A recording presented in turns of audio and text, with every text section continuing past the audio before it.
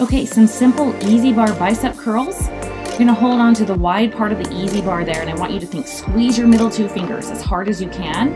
Keep your shoulders and your elbows fixed in place so your biceps have to do all of the work. And you wanna close that angle as tight as you can at the top and extend your biceps, lengthen your biceps as much as possible at the bottom.